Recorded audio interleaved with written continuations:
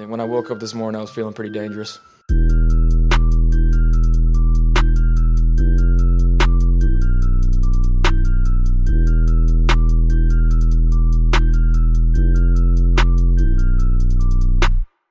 And if we're talking tight ends and we're going into round two, maybe round three, give me Ian Thomas, please. Just let's, I mean, let's just do the damn thing. Just based on giving his overall ability. Um, again, I like his arm. I think he can make every throw. The pick at number 12 is in. Welcome to Cover One, the NFL Draft Podcast. I am Russell Brown. Joining me on a Tuesday night to talk the 2019 NFL Draft, the Cincinnati Bengals, and anything else that you can think of. Joe Goodberry, my good friend of the Athletic Cincinnati, is joining me. Joe, how we doing, man? I'm doing fantastic. It's kind of like, you know, all the work's been done. We're ready to go. The energy's high, but kind of burned out a little bit. I don't know about you. Yeah, man, it's been a 10 month grind. Just put a, a top 200 big board together last uh, week, or, well, really over the weekend, but really the last 10 months. I basically know Mhm. how players put their shoes on, um, and and I'm I'm ready to take a break, but I'm also excited for like the next step because I always like after the draft, I like to pick four or five guys that I, I like their team fit, and I like breaking down how they fit. So I'll jump into the X's and O's of that. And it's Oh, like, I, I like to do the opposite. I pick four or five guys that are con- going to completely bust because of the fit. Oh, that's actually I can I steal that for cover You one? Actually, I, Yeah. us- I usually pick 10 because you got to think it's probably 50 50 more than likely. Yeah. 10 is, is going on the safe side, but it, it's, you can usually, it's funny, I'll do the poll on Twitter and usually get a consensus of about five or six people that uh, are players that people are like, yeah, the fit just isn't right there. I don't know what they're doing. Now, is there ever Bengals guys on this list? Oh yeah, John Ross was a name that came up a lot. Only because I think a lot of people thought he's a reach, and the injury history put him in a in the in the you know the prospect of if if he's healthy, we like him. But there's a lot of a lot of busts happen because of health. Yeah, it really does, and that's that's something that worries you about Hollywood Brown for this this Oh, yeah. class. Um, explosive as hell, great player Yeah. overall in college, but just the injuries are certainly something. And the, the frame of 165, 170 pounds. I'm sorry, I can't. I just can't buy into that. But uh, It makes him an outlier, right? I mean, we've got basically DeSean Jackson, and that's it in Right. the history of the NFL of guys. And you don't if you're going to spend a first round pick on Hollywood Brown, you don't want to get an okay speedster like a you don't want to get Marquise Goodwin just because you know that guy is, is going to be fast and catch a few balls. You want you're spending that first round pick, you want him to be DeSean Jackson fully, and really the chances of hitting that small target are so slim.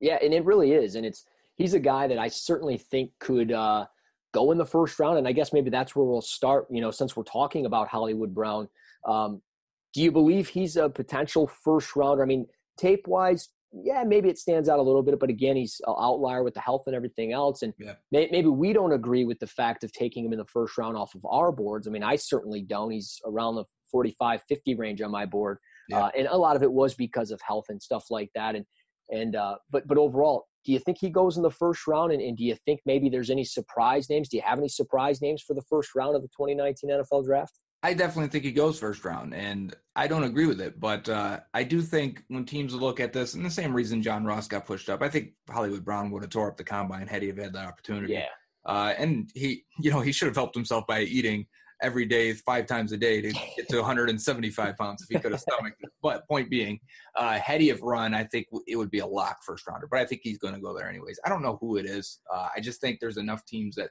seem interested in adding an explosive vertical threat. Really, there's only a few of these guys that are like this in the NFL, and there's a lot of vertical guys in different ways. And I think in the league today, you're seeing bigger guys that also can get deep. Uh, the Hollywood Brown types uh, are few and far between, and I could see a team definitely pulling the trigger on them in the first round.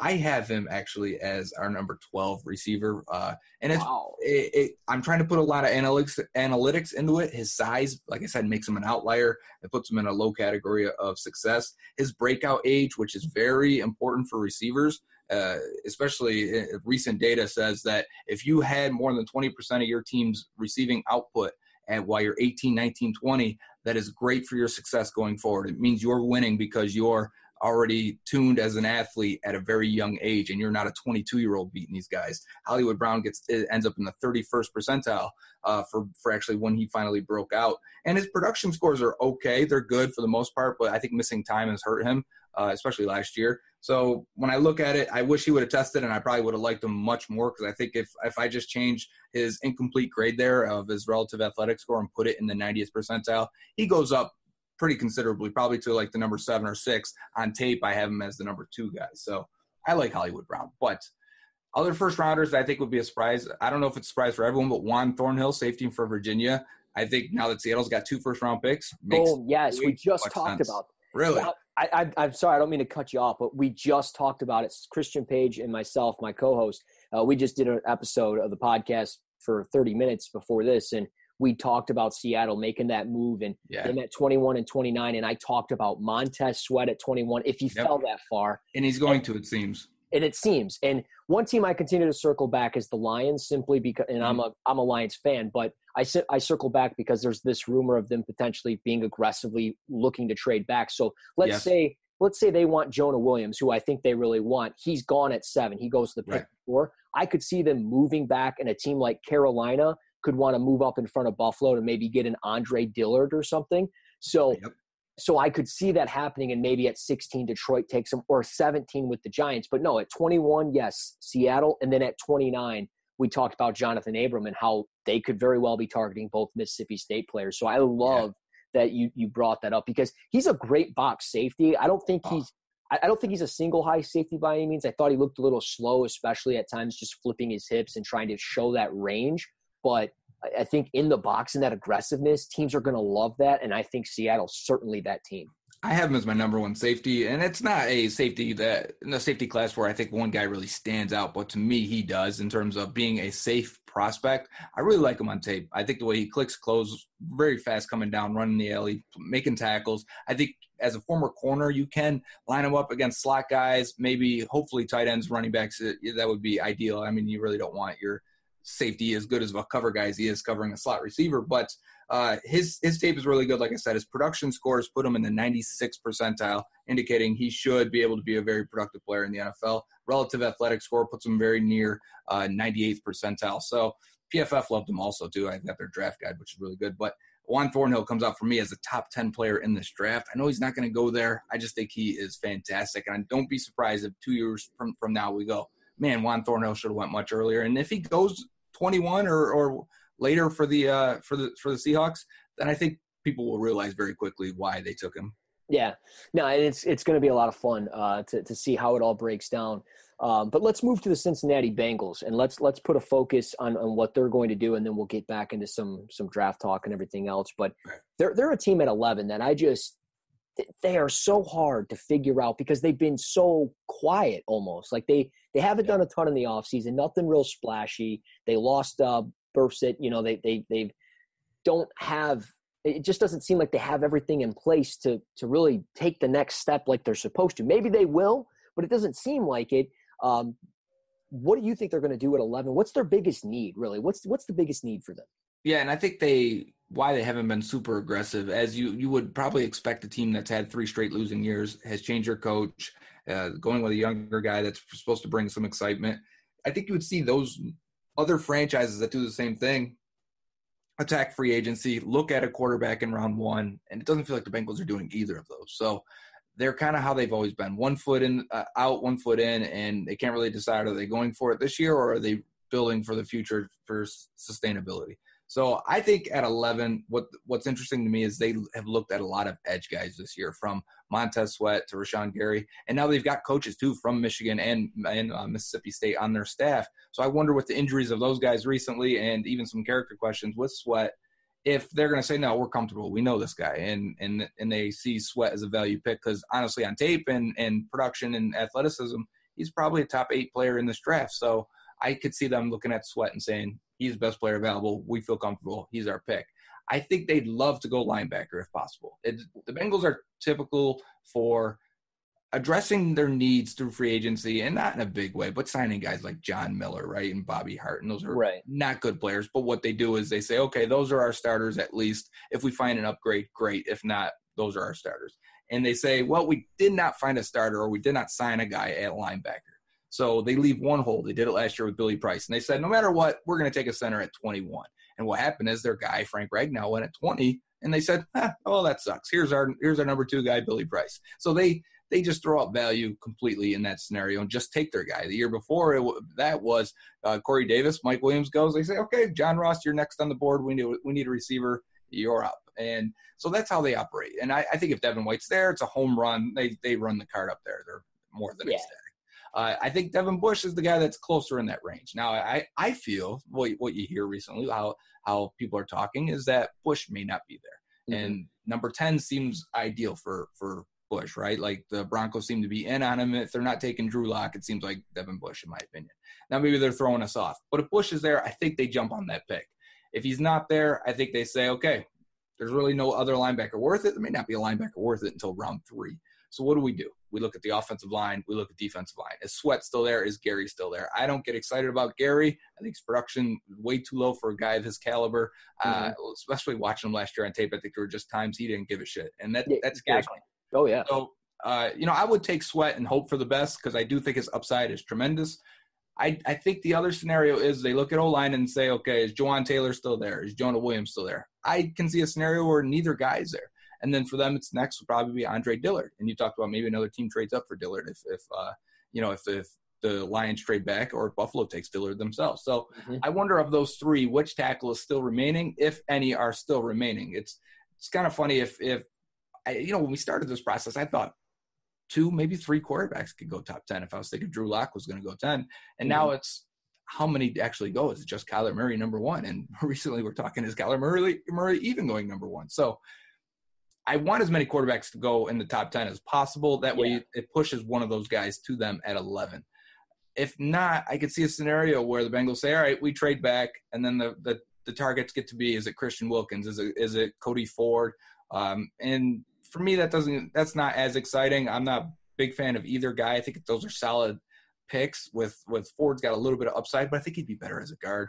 And Wilkins is just a okay guy that had a lot of production, almost 24 years old. So eh, I don't get excited over that. Eh, I would love a Brian Burns if they want to go with, a, uh, with an edge guy to go opposite Carl Lawson and play more multiple fronts. I think Brian Burns would be perfect for that. I just they've never drafted an edge guy under 250 pounds, and I think he barely put on that 249. He, it looks like he played less than that, and I think that would scare him away a little bit. So as of right now, I think the way it's going to play out, it could be Von, uh, Montez Sweat or it could be the best offensive tackle on the board.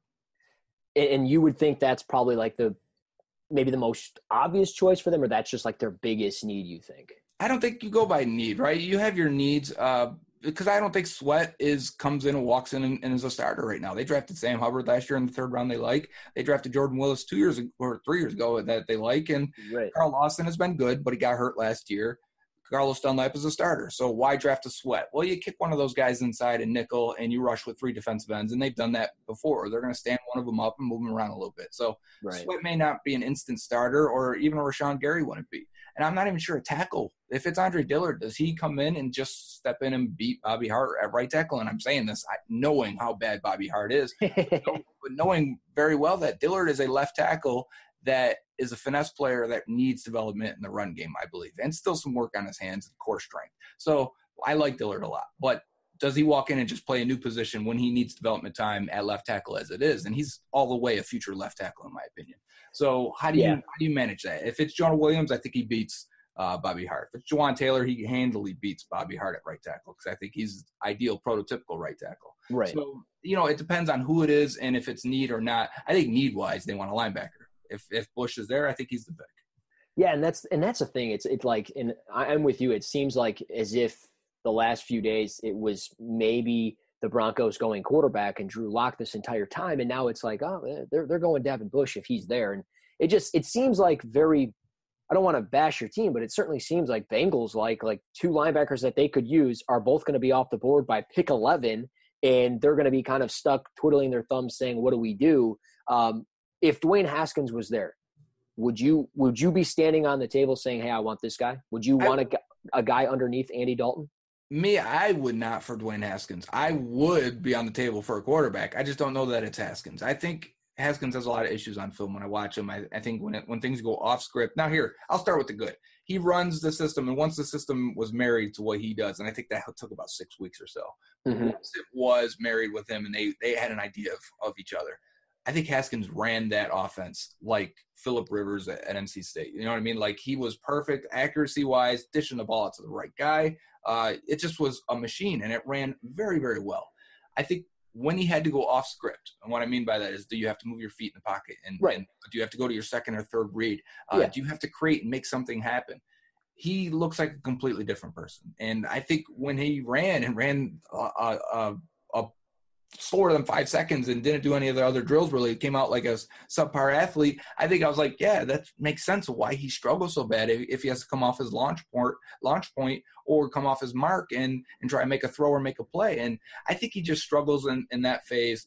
And i don't like his deep accuracy or his aggressiveness to push the ball down the field. I think he's very quick to go to the open guy and keep the chains moving. Now that's a good thing. Coaches will value that i think from an evaluation perspective I look at it and say, I wonder what his upside is. Is he Derek Carr, who is a fine starter, but I think even the Raiders would be open to upgrading if the opportunity presented itself. So Yeah. uh, I think their their strengths and weaknesses are very similar, kind of very similar to Andy Dalton at the same time. But I think if Haskins went back to Ohio State and produced the same way he did this year, with his flaws, he would be considered a top five pick, hands down. And I say that because on the spectrum he's on, like he's not on the Patrick Mahomes, Baker Mayfield spectrum, right? He- those guys are very calm and cool. They can create plays off script, and it's it's nothing to them. Plus, they're cerebral, cerebral with strong arms, with accuracy, and they're aggressive down the field. He's on the spectrum, and this is going to sound crazy, but of Drew Brees, Tom Brady, and I'm not saying he is that guy. What I mean is those guys don't do well off script either. Now they're 20 year veterans at this point, and they can handle it. But what I mean is they run their system so well and with such precision and accuracy that those other plays, those off script plays, don't affect them very much, maybe a few times each game. And you can win a lot of games with a guy like that. So I think if Haskins did it again for two years, people would have way less reservation with him and say, okay, he's our guy. But I think a lot of the questions teams have are one year starter. And you look at the history of one year starters, and it's not great in the NFL. There's just not enough of them that have come out and have had success. And I, I guarantee it's scaring teams away. Yeah, and I, I mean, like, and I guess that's what makes Kyler Murray so different compared to Dwayne Haskins because his ability to go off script. But I think that's something that scared me so much with just both guys in general, like the one year ability of just playing at college and really nothing else beyond that. And that, like, that was just something that scared me a little bit. And that's why they, you know, Dwayne Haskins is at 24 on my board and, and Kyler Murray's at 26. Like, there's not much that separated them. But um, if, if, obviously if those guys are off the board or even if they are on the board or whatever let's say there is every quarterback on the board whatever who's the quarterback that you would want them to take is it a guy in the first round or is it a guy maybe like a ryan finley in, in round three or or whoever I think it would be Kyler if I could choose anyone because of the excitement and the X factor he brings. I do think he's super efficient within that offense and an offense that honestly took advantage of bad defenses and created a lot of space. And honestly, if your team in the NFL isn't doing what Oklahoma is doing, you guys probably need to update your offense a little bit. So, you know, it, it's hard to criticize him so much for being so efficient, but Yeah. uh, when things did break down, so he ran his offense to pre- precision of the, the highest level. But when things broke down and he had to do what he had to do, he created plays at a high rate and he's got a cannon arm. He's aggressive downfield. He's he can flip the wrist and that ball's accurate 50 yards downfield. And as a runner, he's as exciting as anybody we've seen in a very long time. I mean, you, he may go up there with Mike Vick as a college runner. And mm-hmm. for me, that's just a crazy mix of talent. And I think coaches would salivate at that opportunity. And that's why, yes, he's a one year starter. And honestly, if it wasn't Cliff Kingsbury and his connection at, at number one, I do wonder where Kyler would go. And I, I wonder how many teams would actually be interested. I think the old school teams would still say, nope, Daniel Jones for us, you know, or Drew Lock for us. And I think that's a mistake. But uh, so if I, you can't take those guys off the board. And for the Bengals, I want them to take the, a developmental guy or a guy in the second, third round beyond. I like Will Grier a lot. His only knock for me is that he's 24 years old, and the, the history of 24 year old quarterbacks is even bleaker than when you're starting quarterbacks. right Uh, but I like him going off script. I like him creating plays. I like his gunslinger mentality. Now he makes a lot of mistakes while doing it, but I I'd rather corral a guy back and, rather than try and unlock somebody that really hesitates to do these type of things. And, and it was a simplistic offense, I think, for the most part. Uh, I think one and a half years, or you know, after the transfer, one and a half years starting. Uh, Grier has high production, and if if he wasn't 24, I think he'd be talked about as a maybe late first round pick. Uh, after that, a complete shot in the dark because his his all of his analytics say he's not going to succeed. Uh, but Tyree Jackson from Buffalo would be fun, and, and yeah. just I mean, we've never seen an athlete like I mean, he's a 99.9 percentile quarterback. He would make an awesome tight end, I'm sure. But he's got a cannon. He throws. They, everything's vertical at Buffalo. It's either vertical or check it down. And sometimes there was no check down too because they're giving him help. uh, so it was it was push the ball downfield constantly. His average depth per target was the highest amongst that, anyone in this class. So you know why his statistics were low, but still his his production numbers say he's never going to be anything at all. But I think for fun and X factor and bringing him into preseason and just watch him then, I think would be worth a fifth round pick or so. Yeah, I, I really like that you brought up Will Grier. I think he would be a lot of fun behind Andy Dalton. Um, I, I, think just that mix would be good. And I, I, agree. I think there's certainly flaws with him. He is fun to watch uh, with that gunslinger mentality. And I think maybe Cincinnati would be like a perfect fit for him. Uh, maybe it would have to take like a second round pick to do it, which is a little rich for me. But according to you know everything that it sounds like, he could be even a late first round pick right now, despite yeah. being 24. So I don't know. It'll be interesting. Um, and I'm glad you brought up a tight end, uh, or, or, bringing up tight ends. And I, I do want to ask you that, and then we'll we'll get on out of here, and I'll, I'll let you get back to your Tuesday night. Um, but with tight ends, they they lost Tyler Kroft. They have C.J. Uzomah.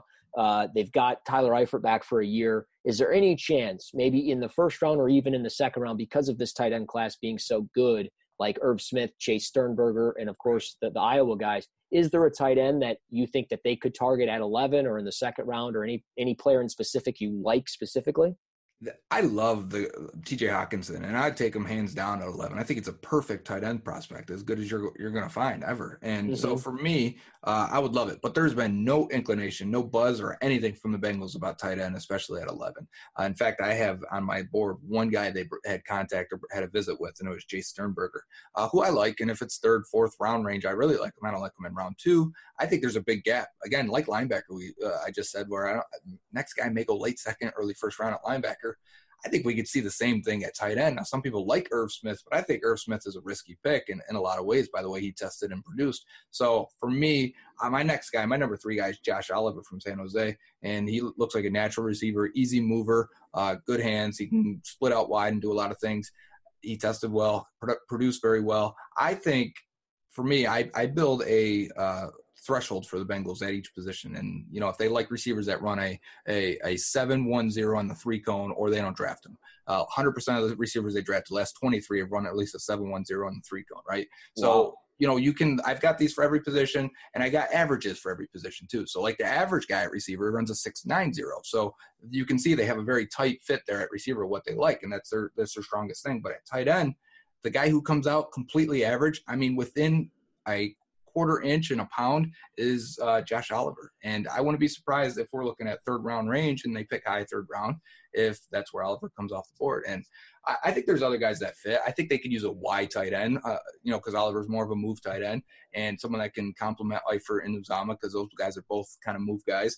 Uh, so I, I, think there could be a Foster Moreau or a Drew Sample or maybe a Kaden Smith or Trevon Wesco. One of those guys as as day three picks. I like Foster Moreau of LSU because uh, I think there's much more untapped potential in his game. Yeah. Uh, so, so, I think yes, tight end's going to happen. I just don't know if they want to go as high as third round or if they let that simmer and, and find a fit more than a good prospect tons of great stuff, man. I, I love that you brought up Josh Oliver, who I liked watching on tape. I thought there was times that he struggled with drops, and he showed that at the Senior Bowl too.